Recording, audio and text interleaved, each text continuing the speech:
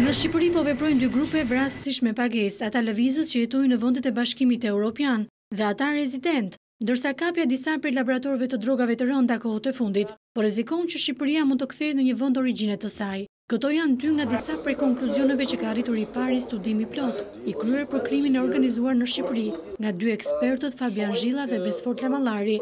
Ata kanë analizuar situatën e rendit në këto njëzet e pesë vite tranzicion. Ka një investim të krimit të organizuar serioz, e cila e shiko, të cilët e shikojnë Shqipërinë si një vend oportun për të ngritur, le të themi edhe për ta kthyer Shqipërinë bazë dhe vend kryesor të përpunimit të kokainës dhe më pas për ta shpërndarë atë në në vendet e BE-së dhe në Ballkan. Një nga karakteristikat e vrasësve profesionistë është që ata mund të vijnë dhe nga forca speciale. Në vende të tjera karakterizohen dhe elementë të cilët kanë qenë më përpara në forca speciale dhe huazohen nga organizatat kriminale për të kryer krime.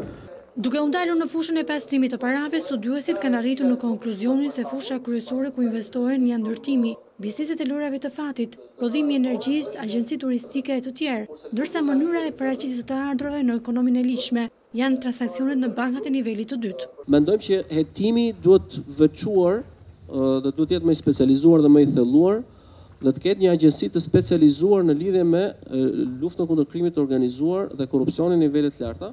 Por sipas studiuesve një rrezik serioz që po i kanoset Shqipërisë është dhe krimi kibernetik. ku janë të përfshirë të rinj nga mosha tetëmbëdhjetë deri në tridhjetë e pesë vjeç. Sipas studiuesve, veçori e grupeve shqiptare është se ata krijojnë lidhje më të ngushta me hakërsat nga rajoni dhe kryesisht kosovarë, si dhe janë të anëtarësuar në forume që mund të administrohen nga rrjetet kriminale ndërkombëtare.